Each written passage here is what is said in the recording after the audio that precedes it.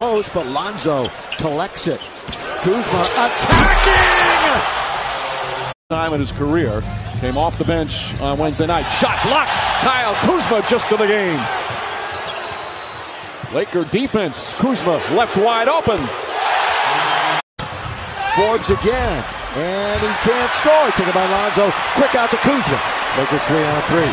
Kuzma spinning, looking, shooting, scoring! I'm glad he made running the floor for the easy layup.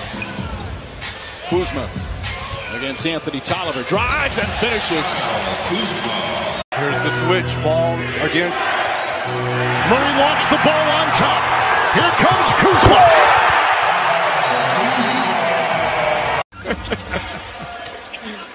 No offense to my squad, guys. We're going to be great. What a pirouette from Kuzma, who finishes with two hands at the rim.